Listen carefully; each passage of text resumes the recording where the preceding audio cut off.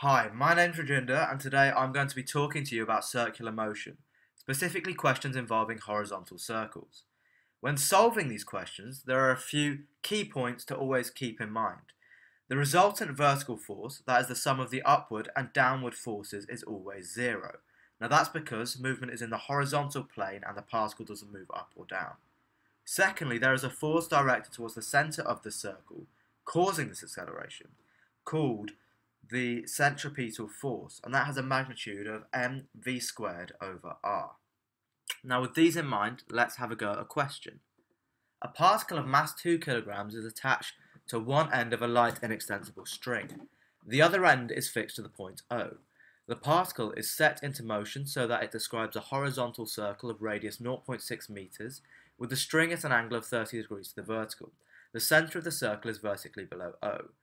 For part A, show that the tension in the string is 22.6 newtons, correct to three significant figures.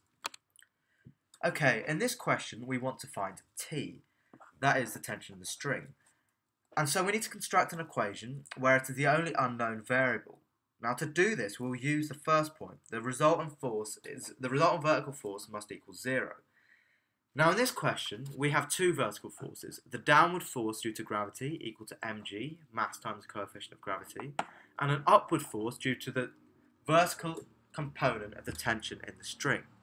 Now to make the resultant vertical force zero, these two must equal each other. So we can construct the equation T cos 30 equals mg.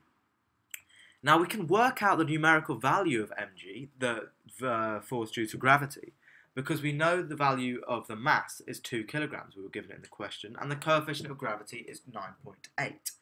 Now if we multiply these two together, we get mg, which is 19.6 newtons, and we can substitute in that into our equation for t, and we get this equation, t cos 30 equals 19.6.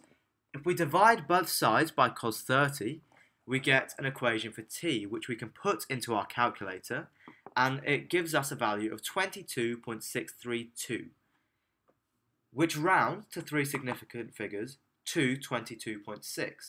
And so, luckily, we've got that question right. The second part of the question wants us to find the speed of the particle.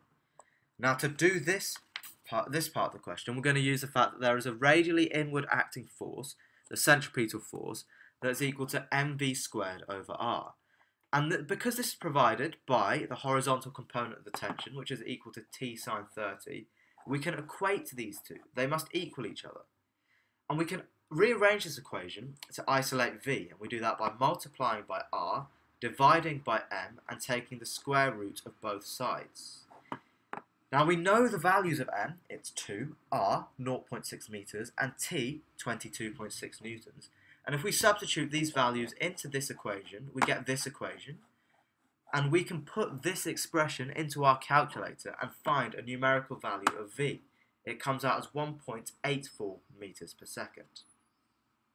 Now before I end, I'll just recap the key points to remember when solving these questions. The resultant vertical force is always zero, and the centripetal force that acts towards the centre of the circle is equal to mv squared over r. Thanks for watching and I hope you found this video useful.